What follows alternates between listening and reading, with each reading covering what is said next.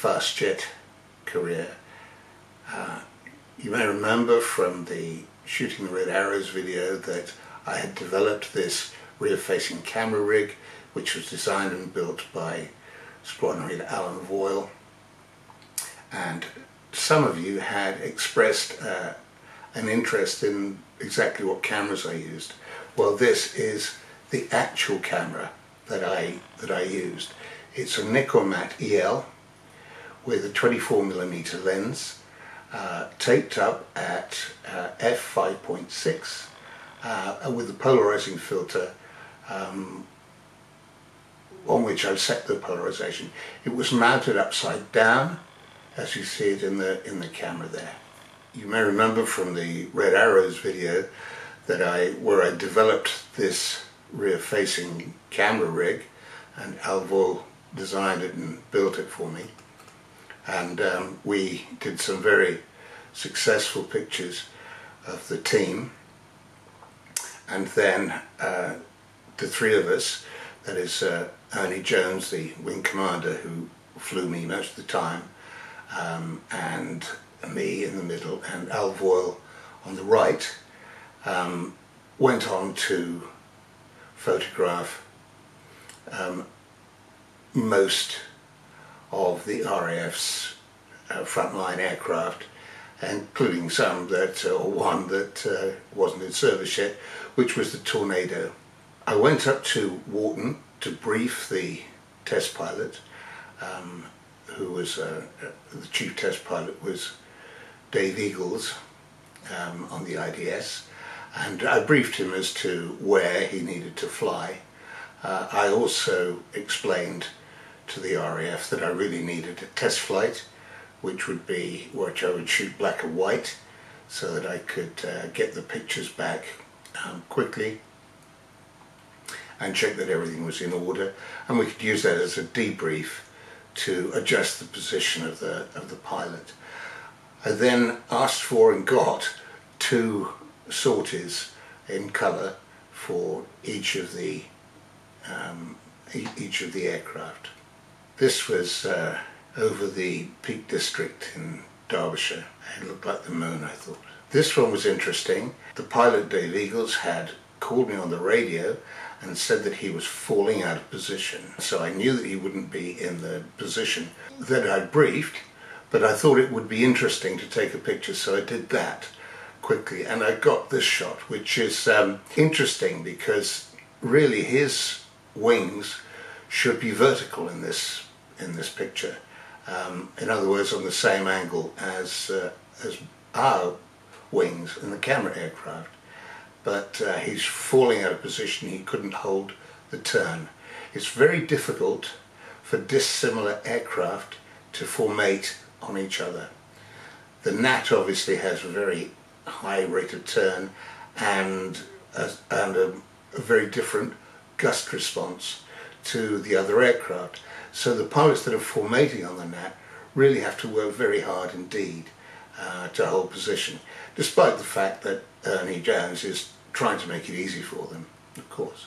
After the tornado, we went to photograph the Harriers, uh, one squadron. I went out there and uh, again briefed the pilots and again did a test sortie, again two sorties um, doing the colour shots. This one has quite a sense of uh, speed about it. You very seldom get that.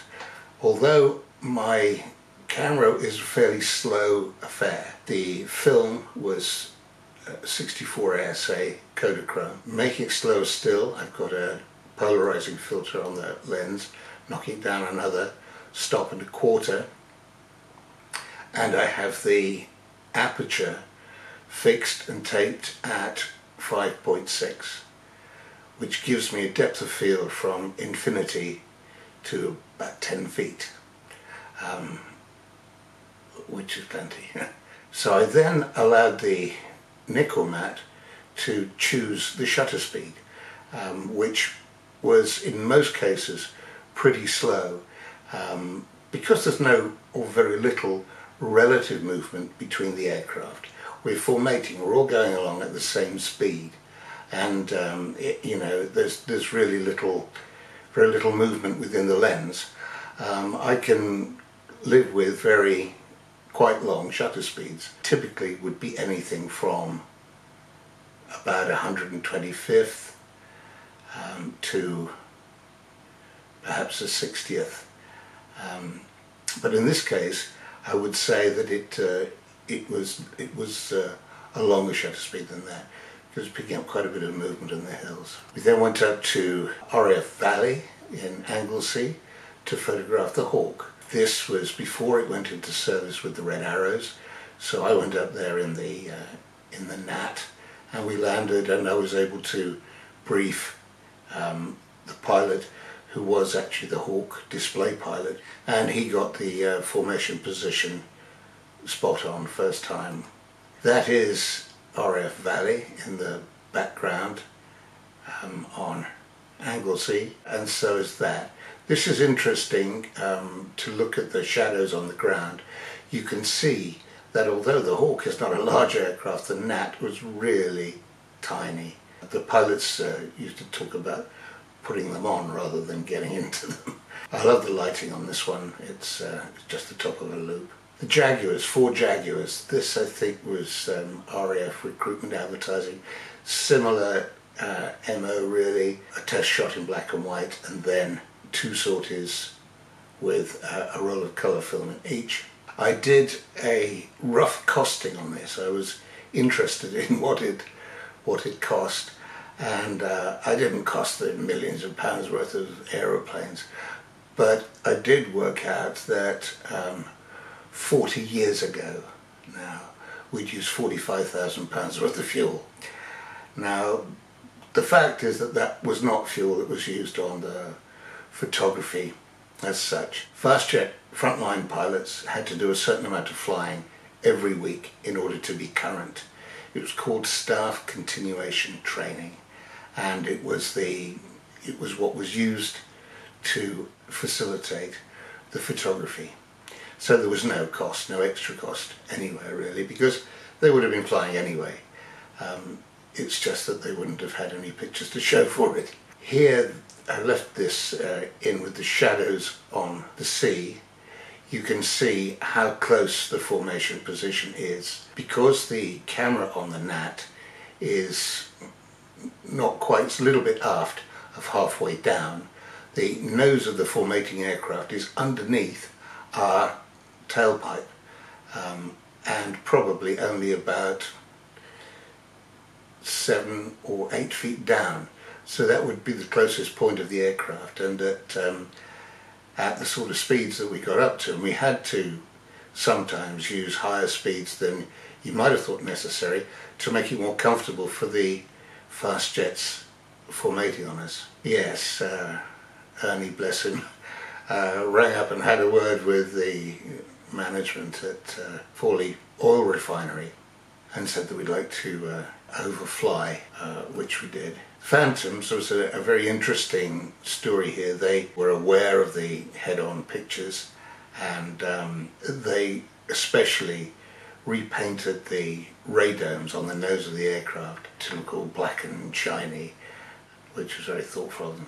We were flying around sort of the Midlands and Wales doing this and it is very difficult for an aircraft like a Phantom to formate on a, on a little gnat and the further you go back the harder it is. So the second Phantom in this picture is, is working the hardest um, because everything we do in terms of turns is exaggerated as it goes back. So we were concentrating on this and suddenly on the radio there was dagger, dagger, dagger. and Ernie pulled buckets of G and swung around and, you know, we'd been bounced by some Jaguars on their way back from Wales. And it was the sort of thing which happened in the RAF in those days um, for uh, air combat practice. Uh, you were pretty much allowed to bounce or make a, uh, an attack on any aircraft you, you ran across.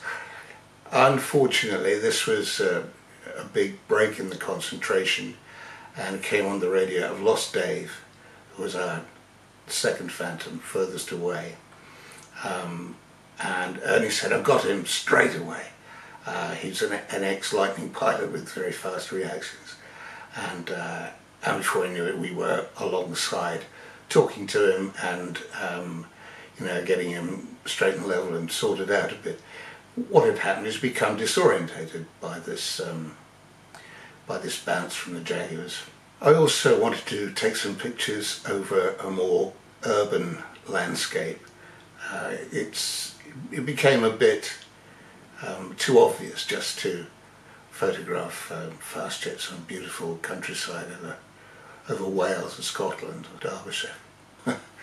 uh, Ernie also knew the station commander at Fylingdales, which was the four minute warning system up in Yorkshire. And uh, you're not normally allowed to fly within, I don't know whether it's five miles or ten miles, but uh, you, you have to keep your distance anyway because of very high powered microwaves, which are bad for your reproductive organs. Um, however, I think Ernie had spoken to him, and uh, it turned out that we were able to fly um, directly over the top. I don't want to speculate about uh, what happened to our early warning system at that time. This was uh, one of the vintage pair, which was a pair of meteors. Um, we went down to um, to take some PR pictures for them.